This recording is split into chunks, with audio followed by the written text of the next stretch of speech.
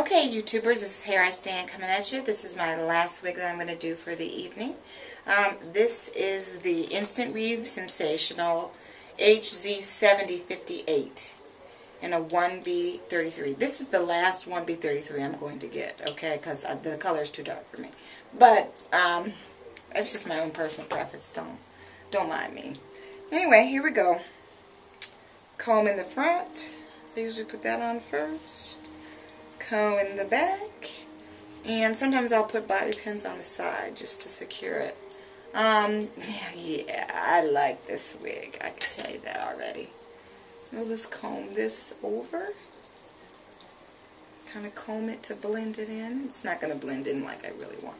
Because I flipped my hair in the morning with the curling iron. Um,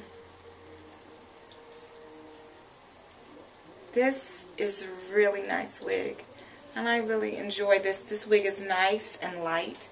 This wig is not so shiny, not so perfect looking. Um, it's definitely, um, I have to bring this hair forward over that little part thing. But anyway, um, I like this wig. Or I could just pull my own hair out. But again, my hair, I just got a blowout, so it's not going to go over too well. And it's pretty fresh hair did from the beauty shop. And anyway, there you go. That's it. Um, I like this wig. I like it. It looks soft and airy and everything. And it's not very shiny. And then, of course, if you mess with it make it kind of uneven and unperfect, um, then it looks more natural.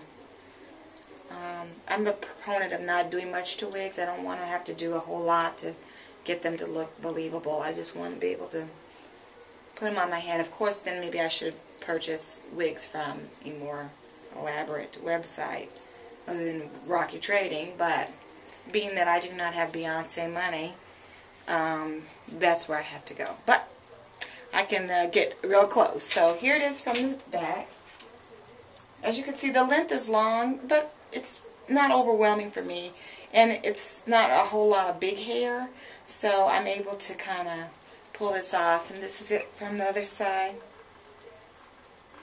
So, um, tell me what you think. I like these beachy waves and stuff. Um, you can even take it and put it all over one.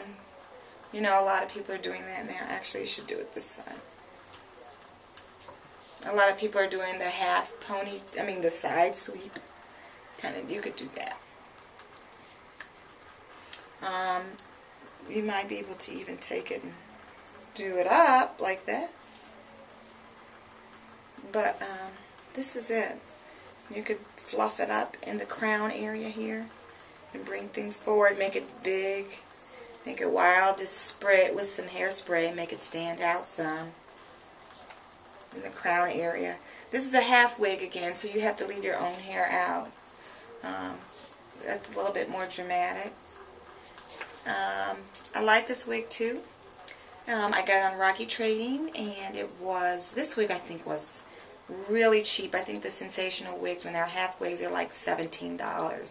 $13. Something ridiculous. It's ridiculous, okay? So, um, I just got the kind of the wrong color, but it, it blends with my own hair, so I'm not too upset. So, anyway, um, this is the last of my five little mini videos about five of the wigs that I purchased from Rockey Trading, and they all came. So I hope you like, rate, and subscribe. If you want to see me do more with one wig, um, just let me know and I will um, do so. Alright, um, if you have any tips or tricks or things that you'd like to share with me, comment below and um, I'll be more than happy to read and reply and everything. So, um, thanks again for watching. Have a great evening. Bye.